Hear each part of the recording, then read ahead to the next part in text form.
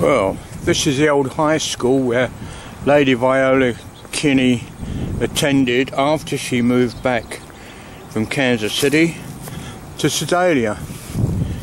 Um, Arrive at North Osage Avenue. Uh,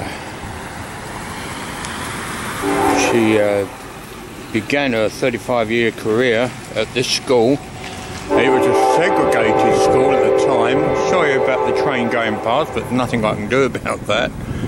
Um, it's now an apartment building. Um, she taught here, she was a school teacher. Um, she became head of school in the music department and also gave piano recitals in Sedalia and surrounding towns. She was a very clever, talented lady. Well, there you go. This is where she attended school. Unfortunately, it was a segregated school then, but it's now an apartment apartment building.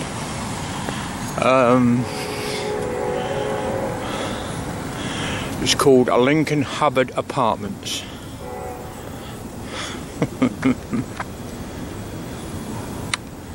Here's the squirrel.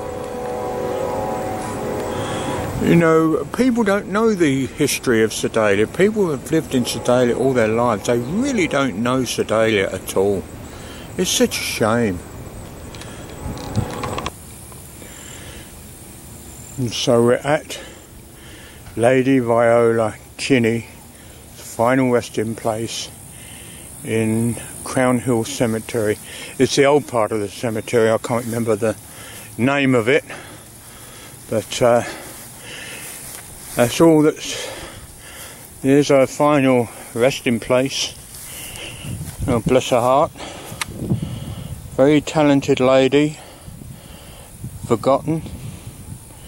And as I say, people that live in Sedalia, they don't know. They don't know these. Uh, very talented people that lived here. She made records, she was a teacher. Uh, unfortunately, she taught in a segregated school, blacks only, and that's the school she went to, blacks only. But uh, things have changed now, thank goodness. Uh, that school is now an apartment block, as I've told you before. So there she uh, she died in September the 25th, 1945. I thought she uh, she she was quite quite old, uh, an elderly lady when she died, I think. But uh, there you go. That's uh, Lady Viola Kinney, singer, songwriter, um, teacher. Not a singer, she was a teacher. Um, she was a songwriter and composer. Bless her heart. Okay, there you go. Unforgotten People of Sedalia.